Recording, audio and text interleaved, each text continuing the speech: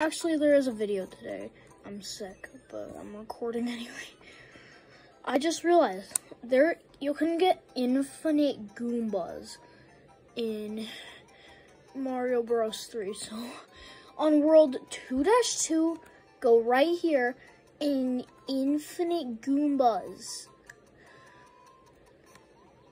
Okay, there's so you can just keep spawning Goombas. So yeah, that's a cool little thing I noticed. And there's a few places to do it, so actually,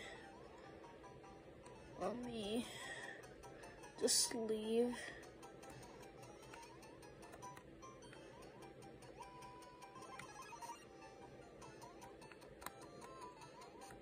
Right here too.